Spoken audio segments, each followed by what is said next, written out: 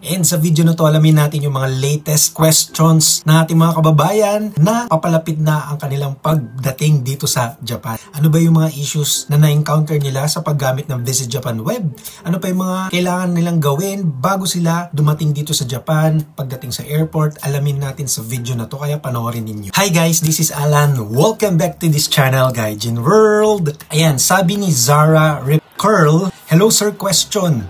After po ba ng review completed sa vaccine status, no QR code at completed na yung custom declaration with QR code, tapos na po ba yun? Returning resident po. Okay, so sa quarantine section ng Visit Japan Web, kapag nakalagay na review completed, naging blue na yung screen ng inyong quarantine, ay okay na yon. So wala na nga yung makikitang QR code sa quarantine section ng Visit Japan Web. And then sa customs declaration naman, kapag ka na-fill upan nyo na yon at nagkaroon na ng QR code, ay okay na din yun. Ngayon, yung sa immigration, dahil ikaw ay returning resident, meron kang re-entry permit, eh, naka-disable na sa'yo yung disembarkation card for foreigners. So para lang yun dun sa mga papunta pa lang or yung mga bago pa lang papasok dito sa Japan. Yung mga returning citizen dito sa Japan or yung mga returning foreigners dito sa Japan ay naka-disable yung kanilang disembarkation card for foreigners sa Visit Japan web. According naman kay Myra Zatarain, Hi po, ask ko lang po, pag naggawa po ba ng fast track, kung apat kami, isa-isa po ba kaming gagawa or isang tao na lang para sa aming apat ang gagawa ng fast track? Sana po masagot. Salamat. Salamat sa pag-comment mo, Myra. So para sagutin yung tanong mo, kung apat kayo na adult, okay, kung apat kayong adult, ibig sabihin, isa-isa kayong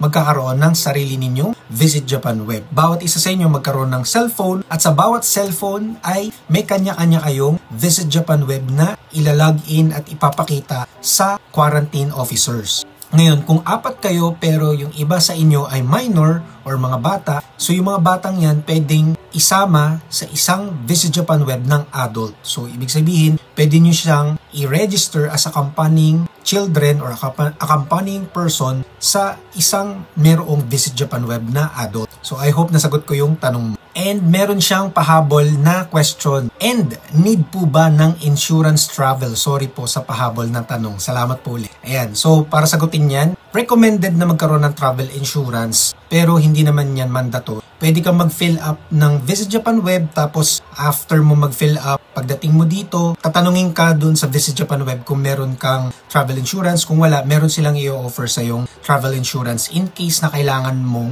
uh, magkaroon ng travel insurance dito. Dahil pag nagkasakit ka dito, halimbawa nagka-COVID ka, medyo mahal at mataas talaga yung cost na babayaran mo sa clinic or sa hospital pag nagpa-hospital kayo dito. According naman kay Margo, how to register po for Visit Japan Web. Okay, so para makapag-register kayo sa Visit Japan Web, ito ang ating instruction. According sa website nila, Visit Japan Web is a service displayed in a web browser. So, kailangan, para ma-access nyo yung Visit Japan Web, kailangan nyo ng web browser. So, either phone or smartphone or sa computer nyo gawin, basta nakaka-access kayo ng web browser, ay ma-access nyo ang Visit Japan Web. When using for the first time, please create an account from sign up for a new account at the bottom of the login screen of Visit Japan Web. So ito yung website nila, ayan o, https colon forward slash www.vjw.digital.go.jp.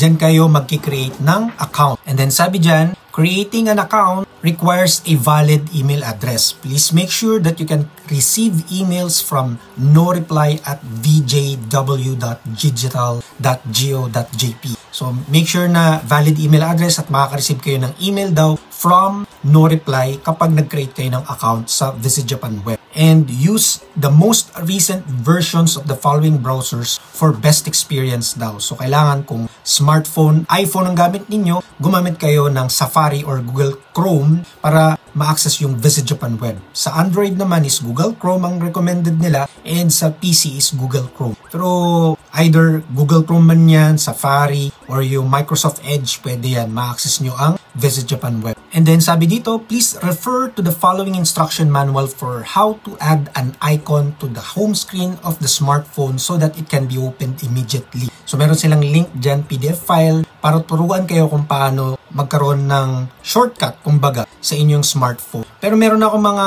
nagawang topics May mga nagawa na akong topics nito tungkol sa pag-create ng Visit Japan web account ay i-access nyo na lang or ilalagay ko sa description box yung link ng mga videos na yun para masundan ninyo kung paano gawin ang pag-create ng or pag-register ng account sa Visit Japan Web. Galing naman kay Axtin Sir, may I ask po kung ano ang ICV yung i-upload? Yung picture ng yellow card or yung screenshot ng information generated from the QR code. Okay, so kung meron kayong yellow card, kung meron kayong picture or mismong yellow card, scan nyo yun and i-upload nyo yun sa Visit Japan Web. Ang importante ay makita na meron kayong vaccine or meron kayong vaccination na natanggap, nakalagay doon kung ano yung date, ano yung type ng vaccine at saan nyo nakuha yung vaccine na yun. So yung mga details na yun, dapat nakikita yun sa certificate na meron kayo kung yellow card man yan or yung certificate mismo na galing sa BOQ. Okay, according naman kay Carla Almerol,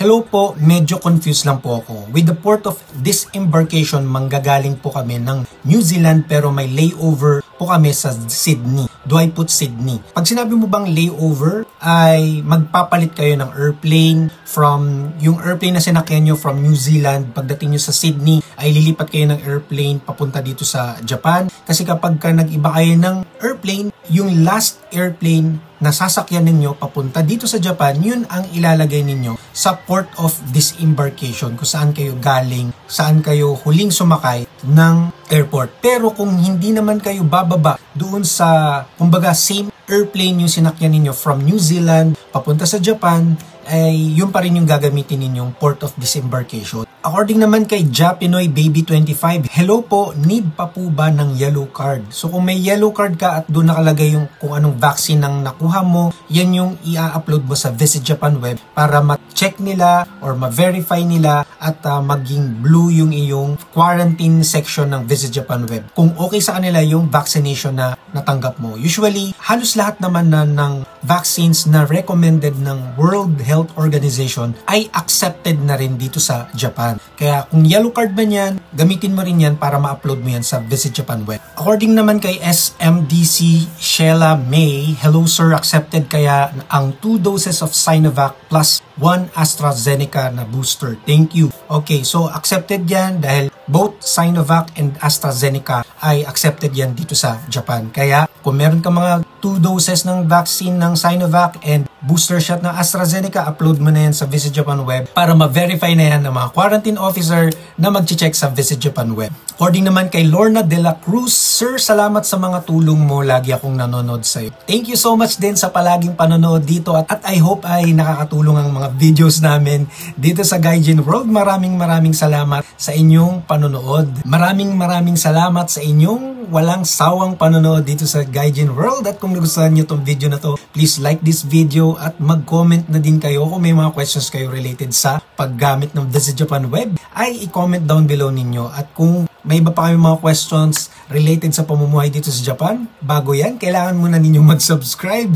Kung hindi pa kayo nakasubscribe, mag-subscribe na kayo at i-hit nyo yung notification bell para lagi kayong updated sa aming mga susunod pang i-upload ng mga videos. At kung interested kayo sa ibang mga topics namin related sa pamumuhay dito sa Japan, puntahan nyo ang aming YouTube homepage, i-click nyo yung playlist dahil marami kaming playlist dyan na makakatulong sa inyong pamumuhay dito sa Japan. Thank you so much again for watching. This is Alan and I will see you on our next video. Huwag niyong kalimutang i-check yung mga videos na lalabas ngayon dito sa screen. Bye!